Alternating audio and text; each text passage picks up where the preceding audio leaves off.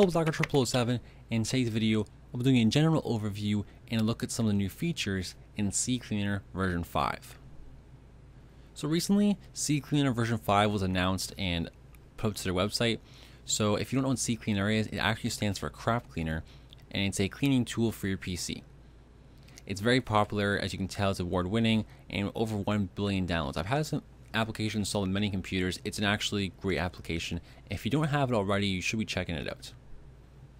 So I know a lot of you guys will have this application already. So in this video, I'm going to do a general overview for the people who haven't seen this application before, and then we'll do a kind of an area specific to the new features in the new version of CCleaner. So if you don't already have it, go over to the website and check it out. Uh, you can hit free download here, and if you're using for just free personal use, you can go ahead and download it. There's a professional and professional plus versions that offer some extra things like file recovery, um, automatic updates, premium support, that kind of stuff. Um, but if you're willing to do everything by yourself, the free download is definitely worth it. So you can go ahead and press download. Now, after you download it, what you can do is simply uh, run the run it up and then set it up and install it.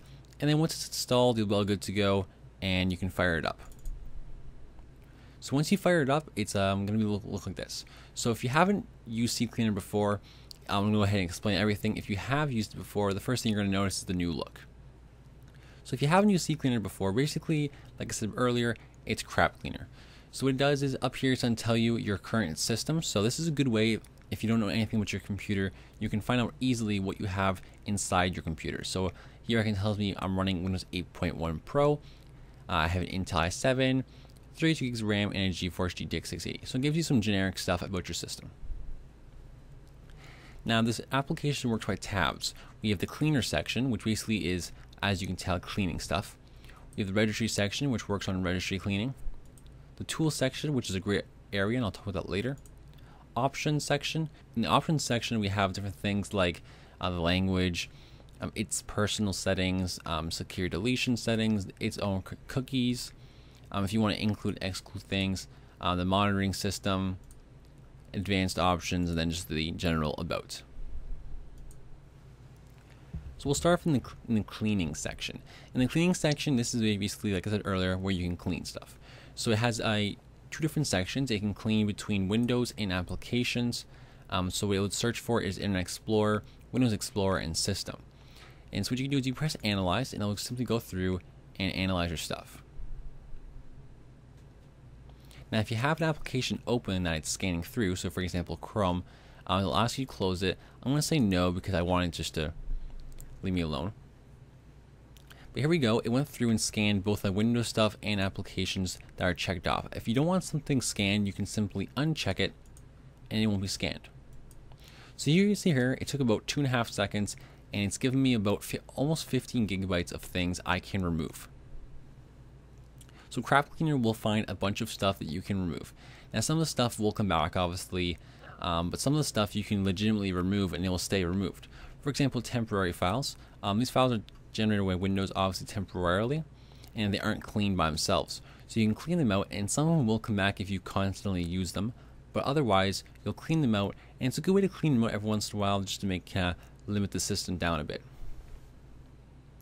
So other things that we checked off are, for example, history of your um, browsers, um, applications like BlueStacks has over um, 200,000 kilobytes. Um, applications like Office show up here, BitTorrent, multimedia applications as well. So if you want to go ahead and clean these things, you can simply go over here and press run, and it'll go ahead through and clean that. You know, you'll notice immediately if you head over to your uh, Windows drive here that you will actually lose about 15 gigabytes, or you'll free up 15 gigabytes of storage right here. So now we head over to the registry cleaner. Um, registry cleaner is a area where it cleans your registry. Now, registry cleaners um, don't necessarily speed your computer up, and some people believe you don't have to do them. And I'm kind of one of those persons. Uh, I never clean my registry because I find it doesn't do anything to my computer. Um, but depending on who you talk to, they'll say yes or no with that. So you can go ahead and do it if you'd like to. So to do this, all you have to do is hit scan for issues. It will tell you what your issues are. And a lot of times it's just missing shared DLLs or unused extensions, stuff like that. And to fix those, all you have to do is hit fix selected issues. It will ask you if you want to back up your current one, and then it will go through and it will fix the issues for you. Now under the tools section is probably where a lot of the cool stuff happens. The cleaner section is obviously an amazing area because you can free up so much space, but the tools section has a lot of awesome features here. So in the uninstall menu, we have a bunch of uninstalling options here. So we can uninstall applications. Um, in the startup folder here, this is the things that start up with Windows. So by disabling some of these, this will help with your computer turning on faster. And now with a new version of CCleaner version 5, they've added support for things like Google Chrome. So you can actually go in and see what programs launch with Google Chrome. So you can actually disable these ones and help with Google Chrome startup. So you can see different ones here, like some extensions like LastPass, Hangouts, um, Pushbullet. And if you want to disable one, all you have to do is click on one and you can delete it or disable it straight from here. Under scheduled tasks, these are things that are automatically set to update all the time. So for example, we have um, Adobe Flash Player right here. So it just basically checks for updates every once in a while. Um, for example, here we have the Google Updater. So these are things that you'll probably have as well that will automatically um, want to update itself or check for updates, etc. Here we have the duplicate finder. So this is going to basically, you can search for something to see if there's duplicate versions of it. So this is good if you have a lot of pictures. You can actually remove duplicates of pictures. That way you can save up on space. System restore, you can see restore points and you can't actually restore to them using the program, but the point of this program is actually removing them. And by removing them, you'll free up a lot of space, like gigabytes. And the last one is drive wiper. Use this with caution, it wipes drives. So basically what it will do is it deletes everything on the hard drive or whatever you plug into it. So you can choose different um, wipes like the entire drive or free space only. And then you can choose the security, so how many times it goes through and wipes it. The more wipes you do, the more secure it's going to be. So obviously 35 is much more secure than 1, but 1 is faster than 35. And that is pretty much it now. So I'm gonna go through kind of now and tell and uh, target specific things that are just new. Um, so a lot of the things that are new are pretty much under the hood, so I can't show you them necessarily. A lot more improvements for things like new versions of Windows, like Windows 8 and Windows 10, and especially in the 64-bit version of them. Obviously, the new improved and better looking um, look is obviously noticeable, and actually faster startup, which I can something I can agree with for sure. If you can notice how fast CCleaner actually launches, um, this is because it actually sits in the background a bit, so that can be a bit of a hassle for people with extreme low, extreme low amounts of RAM.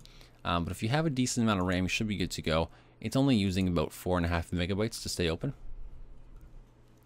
And another one of its new, newer features is that it will remind you to clean it, clean it, which is nice for the free version because it will not automatically clean. So it will remind you every once in a while to say, hey, go ahead and scan your computer and clean it out. Besides that though, the other real major improvements that you can actually see are going to be in the startup folder with Google Chrome and the other, and the other browsers, um, better support for enabling and disabling them. Otherwise, guys, that is pretty much it for this video. So I hope you guys did enjoy. Um, let me know if you've been using CCleaner for a while or if you just installed it. Go ahead and give it an analyze and clean your system. Tell me how much gigabytes you free up. And if you do, feel free to share this video with a friend and get some free space for them as well. Anyways, guys, thanks for watching. Hope you guys did enjoy, and I'll see you in my next video. This is the Hacker 007, and I'm signing off.